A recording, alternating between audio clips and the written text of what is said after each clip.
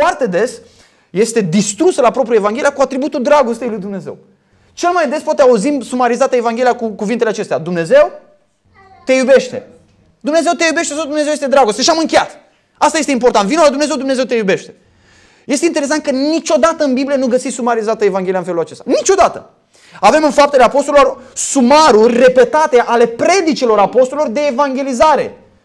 Ni s-a arătat modul în care au evangelizat ei. Dacă vrei să vezi cum au prezentat Evanghelia, nu știu, domnule, oare cum au fi prezentată ăștia Evanghelia? Deschide Cartea Faptelor Apostolilor și găsești multe locuri în care găsești prezentări ale Evangheliei. Vezi exact cum au predicat ei Evanghelia. Și nicăieri nu au început, nu au sumarizat Evanghelia, nu au arătat că esența Evangheliei este asta. Dumnezeu te iubește. Vreau să trag un semnal de alarmă. Dumnezeu ne iubește.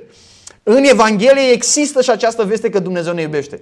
Să fii foarte clar, nu există Evanghelie fără dragostea lui Dumnezeu. Nu există Evanghelie fără dragostea lui Dumnezeu. Da? Dumnezeu care ne-a iubit, l-a dat pe Fiul Său. Nu există Evanghelie fără dragostea lui Dumnezeu. Dar esența Evangheliei, sumarul Evangheliei nu este dragostea lui Dumnezeu. Și multe persoane pur și simplu redefinesc sau la propriu distrug toate atributele lui Dumnezeu prin atributul ăsta al dragostei lui Dumnezeu. Noi nu mai putem vorbi despre mânia lui Dumnezeu, despre scârba lui Dumnezeu pentru păcat, despre uh, uh, modul în care Dumnezeu reacționează față de păcat, despre mânia lui, despre dreptatea lui, despre sfințenia lui. De ce? Fiindcă Dumnezeu este dragoste. Dragostea lui Dumnezeu nu este un atribut care redefinește celelalte atribute ale lui Dumnezeu. Dumnezeu zice, m-aș enerva că am văzut că ai păcătuit. Stai mai un moment că eu vă iubesc, nu mă mai enervez, nu mai supărat. Dumnezeu oricum nu are crize de nervi.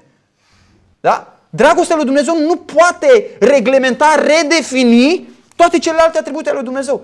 Chiar dacă eu nu pot să împac în capul meu cum se împacă dragostea lui Dumnezeu cu dreptatea lui Dumnezeu, se împacă foarte bine și lucrul acesta ne este arătat la cruce.